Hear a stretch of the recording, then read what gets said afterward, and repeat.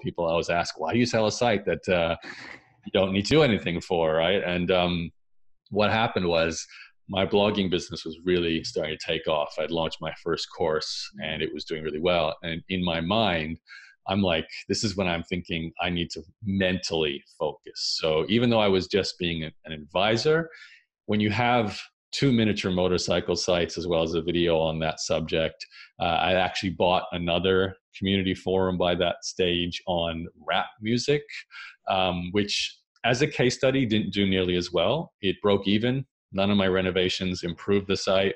Uh, it's not as exciting a story to, to, to tell. I ended up selling it for the exact same price I bought it at. Nothing really happened there, but it was still another asset that I own. So I have I'm thinking rap music. I'm thinking miniature motorcycles. I'm thinking all essay there. editing company. It's hard. I've got uh, it's all going in there. So I'm like, you know what I love? I love content creation and coaching and creating these courses. It's working. I'm going to liquidate, and that's when I sold the essay editing company. That was a hundred thousand dollar deal. Um, there's another story there on how I sold that one. Sold the miniature sites. They ended up going to. Uh, yeah, I don't know if you know Will Swain. He's a Brisbane based marketing results guy. Anyway, I met him no.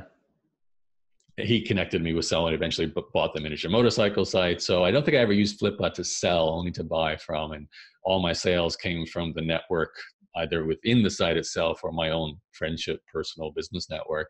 But yeah, I liquidated everything and went all in on on the blogging space. And uh, you know, ever since then, I still That's carefully so well. watch. Yeah, I mean, it's a great story, and uh, it's it's um I'm still tempted. I think, as I mentioned off air before we we spoke, I, am still subscribed to the Flippa newsletter, and I just see these sites, and I look. I, the numbers are not as good as back when I was really into it, but they're still good. You still see something earning two grand a month, selling for like twenty grand, and I'm like, that's 10 months of okay it's not it's revenue not profit. So maybe it's not you know 10 months it might be 20 months or 30 months if it actually you know does what it says. But i still think it's such a great opportunity you know? Ah there is so many opportunities. And if on flippa there's a there are a lot of sites and they're tightening up. So we've had everybody that hasn't listened go back to episode number five. I think i had uh, it was blake hutchison from the who's the ceo of flippa came on and told me that they're tightening things up. Whereas previously you'd get emails like X making X amount per month and it's only cost this. And you're like, wow.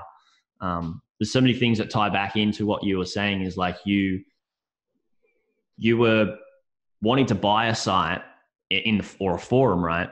And you're like, oh wow, these are going so quick. So you, you change your strategy a little bit and became a little bit more risk prone and I wanted to say to everybody that's all my community and, and everybody that listens to this is this is what they tend we tend to do is we tend to go, oh, like I need to be quicker, especially if you're going to buy sites at the 10 to 20, 30K range, because there's people out there that that's where everybody wants to dip their toe in, where they're not buying a startup, but they're buying an actual business.